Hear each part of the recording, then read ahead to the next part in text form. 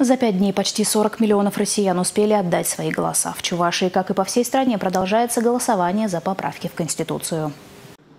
Голосование проходит на избирательных участках, на дому или на открытом воздухе. Большое внимание уделяется безопасности. Точки голосования обеспечены дезинфицирующими средствами, одноразовыми наборами, состоящими из перчаток, масок и ручек. Мы пока идем в среднем э, с результатом 10% в день.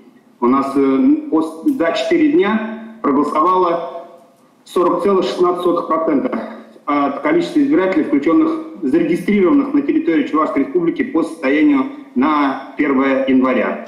Голосование в Чувашии проходит организованно и без явных проблем, отметил Александр Цветков. Напоминаем, избирательные участки работают с 8 утра до 8 вечера. 1 июля – последний день их работы, объявлен выходным, чтобы работающие смогли принять участие в голосовании.